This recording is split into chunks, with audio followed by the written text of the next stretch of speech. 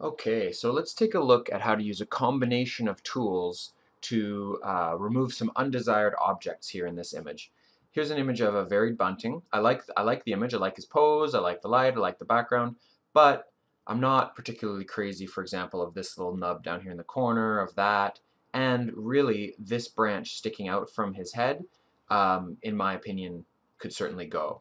So I think what we'll do to uh, start on this image is we'll run through our normal workflow, uh, which we've talked about a little bit so far, and we'll just go ahead and play the action that I wrote to run through the workflow. So it asks if we want to make a new a new layer to do the levels. We can say yes.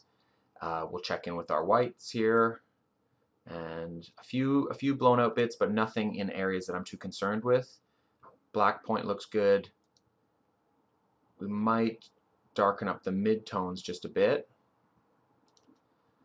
And we could layer mask here if we wanted to. In this image, it's not really necessary, so I'll go ahead and hit play to continue. I'm going to tone down some of those branches just a little bit. Some of the highlights there. We'll say OK.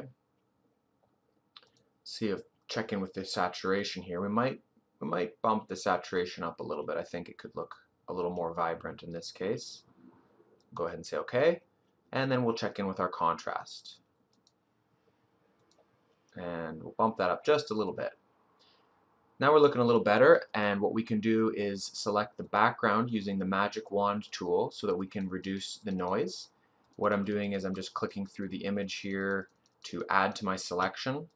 Uh, I've got the tolerance set at a fairly medium kind of value so I will have to click a fair few times just to make sure that I get everything selected here.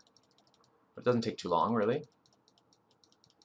If you find you have little little bits like that, that's probably an insect, actually, that's in the frame, but we'll just go ahead and circle that with the lasso tool. Alright, we're looking pretty good. Might just add this bit under his belly there, and a few other spots there that we missed. And that looks pretty good. So now we'll continue our action, which is going to refine the edge it's going to reduce the noise, and then it's going to ask me if I want to save the image. I'm going to hit cancel on the save, because we've got some more work to do on this frame. My aging machine going slowly here. Alright, we'll cancel out of the save. And now what we want to do is make a deselect our selection, and then we're going to do some uh, some removal of some of these undesired objects here. So for example, this bit here, that's a really easy one for the content-aware fill tool to deal with. No problem, easy. This guy over here will be the same story.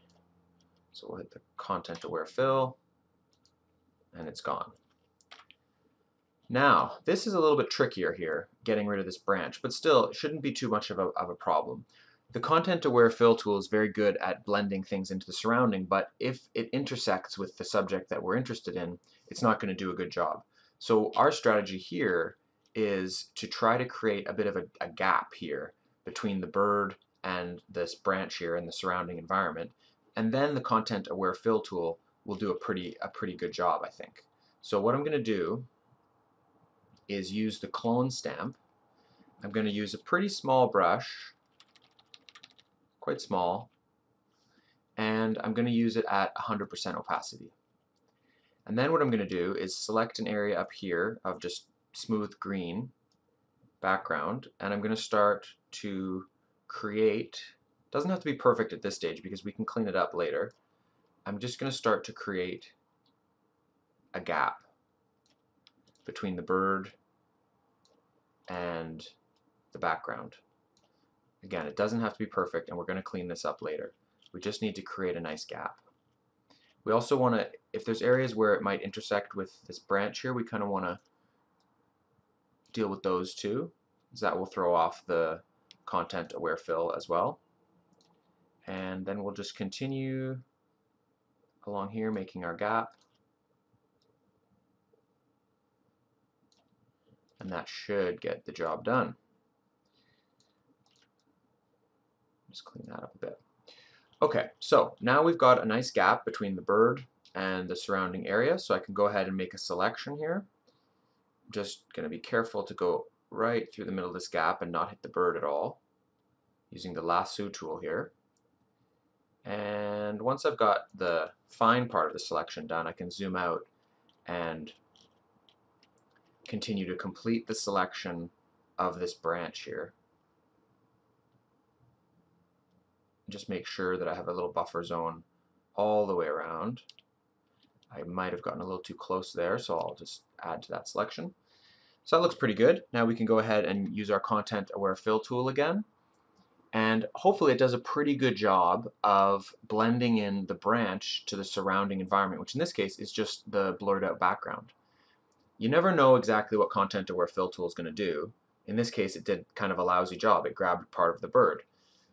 But what we can do is just reselect around around our our object there.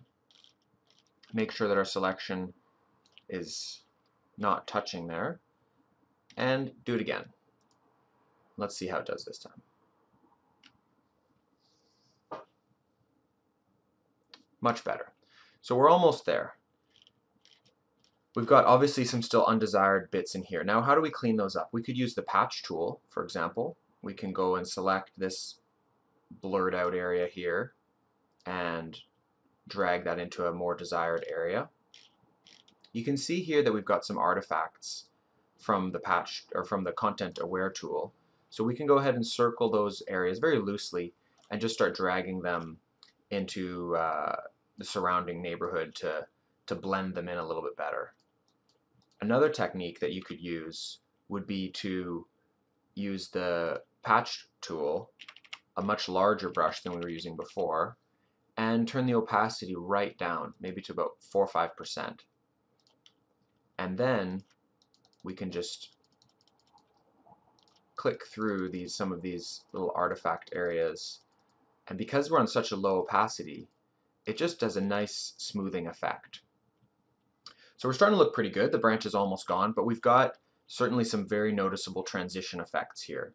Um, so what I'm going to do is I'm going to look for areas that you can still tell that there was some cloning done. And I'm going to use, here I'm using the patch tool again just to try to smooth that out. Uh, we've got we've got some some business going on there. We'll smooth out. And now what I want to do is really zoom in here and clean up these edges. So I'll go back to the clone stamp. I'm going to use it at a pretty aggressive opacity. I'm going to make my brush very small. Something like that. And then what we're going to do is just clean up these edges. So we'll just come along here and just do the best we can to try to clean up any of these edges. This looks still pretty messy up in here. If you make a mistake while you're doing this, like let's say for example I slip and oh I went into the bird there, it's not a big deal. Just go over to the history tab, take a step back, or you could hit control or command Z, Z for uh, taking yourself back a history state, undoing what you've just done.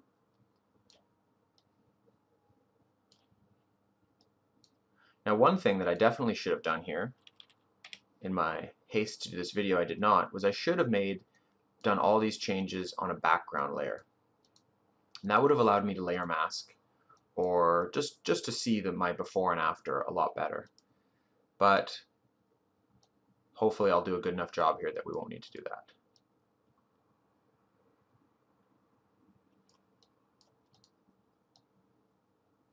So now what I'm doing is I'm just now that I've cleaned up my edge, I'm just using the patch tool again to, to blend this area into the surrounding environment. I'm still not quite happy with that in there. So I might just sort of lop some of those off a bit.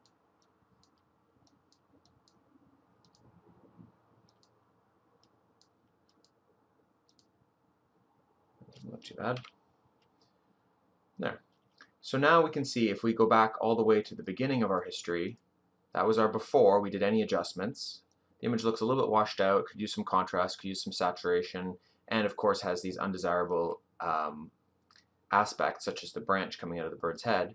And our after, things are looking quite a bit better. and I think we're ready to save this image and move on to the next. So I hope you've enjoyed this video. We'll see you again soon.